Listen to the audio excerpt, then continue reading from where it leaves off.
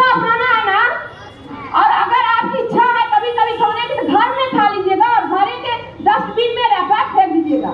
लेकिन यहाँ नहीं, अगर बिस्कुट यहाँ खाते हैं तो बैग में उसका रैपर रख लीजिए और घर में जाके उसको डस्टबिन में डाल दीजिए। ऐसा करिएगा ना? ये बच्चे ऐसा करना है ना? इधर देखिए, ऐसा करना है ना? करना है कि नहीं? स्वच्छता अपनाना है ना?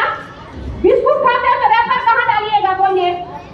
नहीं, यहाँ डस्टबिन में अगर डालते हैं तो अच्छी बात है, डालना आदत लगाइए नहीं तो अपना ही बैग में रख लीजिए अपने घर के डस्टबिन में डाल लीजिए और ये सब तो बिल्कुल नहीं खाना है। खाना है? ये बच्चे, अगर लाइएगा तो हम उसको लेकर के ऑफ़िस में रख देंगे। फिर जब घर होने लगेगा तो होगा तो दे देंगे तो उसको जला देंगे। इसीलिए कि बहुत सारे बच्चे हैं। अभी एक छोटा बच्चा है एक का, उसका पेट पे पट्टी हुआ। हमको बोल रही थी मैडम, उसका ऑपरेशन कराना उसको बैठा दिए।